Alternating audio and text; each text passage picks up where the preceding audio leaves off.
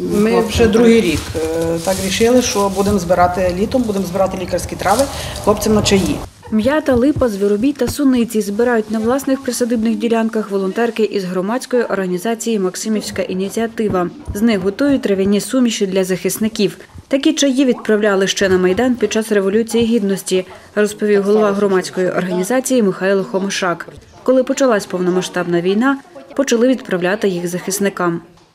Ми виходимо літом і збираємо, сушимо і збираємо, потім пакуємо, відправляємо хлопцям на фронт, і вони задоволені. Минулого року жінки заготували 20 ящиків сушених трав. Цьогоріч планують не менше, каже волонтерка Любов Кость. Після просушування, розповідає, трави сортуватимуть у паперові пакети.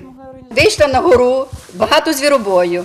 Думаю, хлопцям треба на чай. Та я пішла, взяла, назбирала їх. Зараз якраз сезон заготівлі трав, каже Любов Кость. До прикладу, цвіте липа. Також для чаю підійдуть листки плодових дерев, каже жінка.